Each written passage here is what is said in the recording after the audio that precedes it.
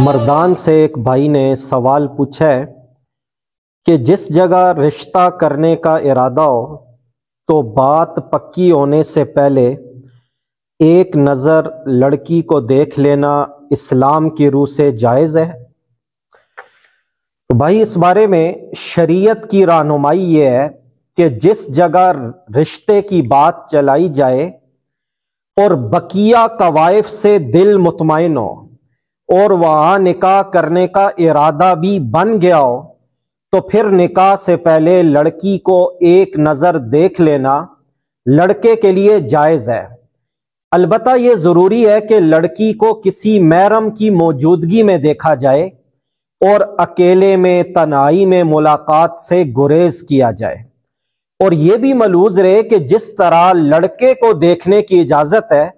इसी तरह लड़की के लिए भी जायज़ है कि वो लड़के को एक नज़र देख ले।